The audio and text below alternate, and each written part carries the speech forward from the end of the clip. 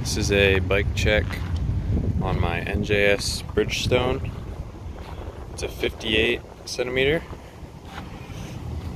Um, this is a keirin racing bike for the velodrome. So there are no holes put brakes on this bike. As you can see.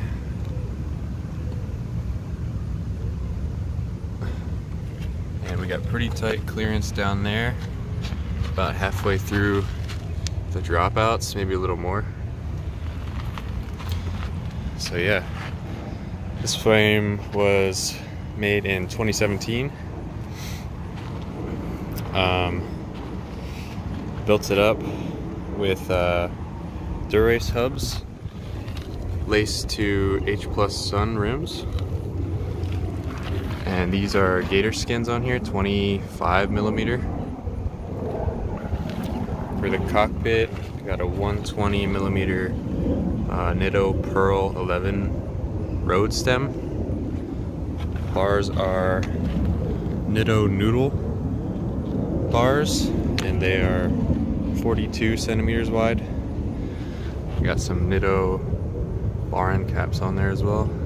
And the bar tape is from Cinelli. It's got the rainbow peeking through. Um, as far as cranks, we've got Sugino 75s. Got the little dust caps, Sugino dust caps on there. These are 167 and a half length. Uh, this is an Affinity 49 tooth chainring. And we got the Time Attack pedals on here. There's Time Attack 4s.